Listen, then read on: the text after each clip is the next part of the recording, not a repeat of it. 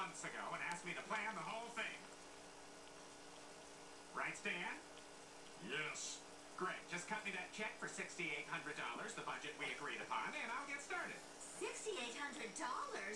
Oh, Stan, I'm so lucky to be married to such a good provider. Just make it out to Jeannie Gold Jeannie Gold, wedding